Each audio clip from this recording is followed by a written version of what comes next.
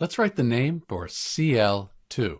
So on the periodic table, we find chlorine right here. It's a nonmetal. So we have two nonmetals together. This is a molecular compound, and that means that electrons, they're shared between these two chlorine atoms that are bonded together.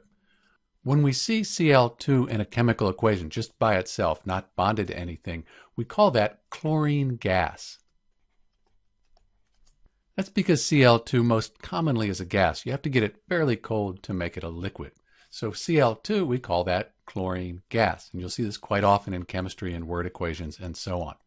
There are two other names that are sometimes used for Cl2. The first is diatomic chlorine, which kind of makes sense. Cl2, there are two chlorines, so diatomic chlorine. The other is molecular chlorine. We have these two chlorine atoms bonded together. That makes a chlorine molecule. So sometimes it's also called molecular chlorine. But most commonly Cl2, the name for Cl2 is chlorine gas. There are seven diatomic gases that you really should be aware of. They come up quite often in chemistry. They're listed right here. This is Dr. B with the chemical name for Cl2, chlorine gas, and sometimes called molecular chlorine and diatomic chlorine.